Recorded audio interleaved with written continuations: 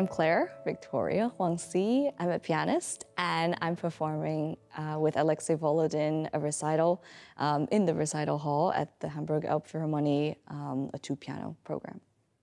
Well, I lived in Hanover for 13 years since 2007, and Hamburg is um, really kind of the next big city, the really nice city close to Hanover where we can travel from as students. And so I spend a lot of time here in my very early studying years with friends who would come on the weekend, um, sometimes even just go watch a concert or so, and, um, and then return to Hanover in the night. And I remember always thinking like, what an incredible place. I mean, just the, the location, it's beautiful. Um, and then there was just such a rich um, offer of different cultural events and uh, great museums and things. Yeah, well, I, I was born in the States and um, I did all my studies until I was 17 in, in, the US. I did the regular high school studies on top of uh, studying at Curtis Institute. And after my studies there, at the age of 17, I had to make the decision if I will continue studying in the US or I will maybe study study something else entirely because my none of my family they're musicians and they encouraged me to go in a safer field. Um, but I had just met uh, my professor Arie Vardi. Um, in a competition one year before, and he had told me about his class and had offered me a place in Hanover. And um, this is, of course, a school which people in America we all know, the Hanover Musikhochschule. It's a very good one for pianists. And so I thought, you know, I'm going to take this chance and go. And it took some convincing, but my parents finally they let me go alone without one of them, which was kind of uh, for me the most important thing to to kind of have some independence. And um, I actually, I, I guess I don't know what my plans were. I must have thought I would come and study for a couple years and then go back at some point. But once I came, I had no intention of leaving. And suddenly we're already, you know, 13 years later. Um, and I've, I've enjoyed every moment.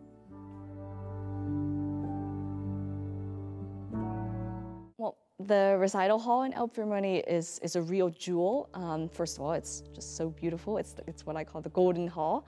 And uh, the sound, it's, um, it's absolutely incredible because on stage you hear, you hear everything so clearly, um, but yet almost like it feels that there is an audience already. It doesn't change so much when there's audience sitting there versus when it's totally empty. So from that perspective, it's extremely helpful for a soloist. Um, they know exactly what they're getting into.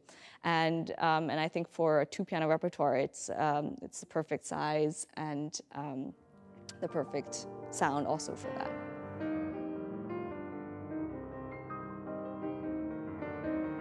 Most of the time, piano duos are either siblings um, like I think it's a thing to have like twins almost. It's a thing, um, or you know, life partners like a couple, um, and then it's quite rare. Uh, apart from that, actually to have friends just working together. And I think we, we would represent uh, the kind of um, colleagues, respecting colleagues to each other. Um, but absolutely, I think without liking the other person, there's almost no, no chance of um, making it work because uh, performing two piano repertoire, it's a very intimate thing. Um, one has to really have or match the sound to each other. One has to match the phrasing, the articulation, and the whole interpretive musical picture. I think it's more intimate even than playing chamber music with another instrument. I've played a lot of chamber music, um, but I mean, when you have two of the same instruments playing together, you really have to, you don't want one of them to stand out. Like, you don't want people to see, oh, that's that's this pianist playing and that's the other one. You really want to mesh together as one organism. And that only comes with being close to each other. And uh, yeah.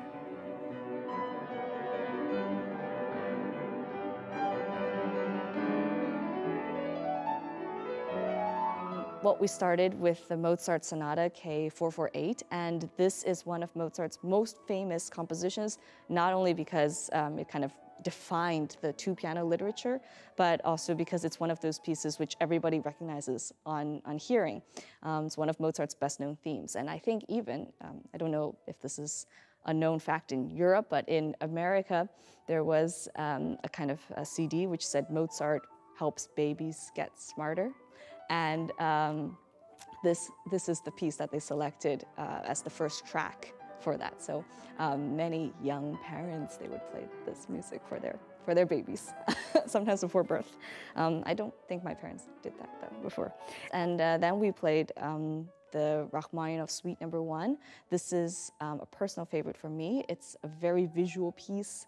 Um, it showed it had uh, four different scenes, and each scene is totally different from the other. The first one is representing a boat, like a barcarolle. The second is representing the night of love um, and a nightingale, so it's a very romantic second movement. And the third is tears, almost going into a funeral march of sorrow, tragedy. And the last is representing the Russian Easter scene, which I've never witnessed, but um, I can almost imagine like when you're in Moscow or St. Petersburg and the big bells are ringing all around you. That's what that scene is.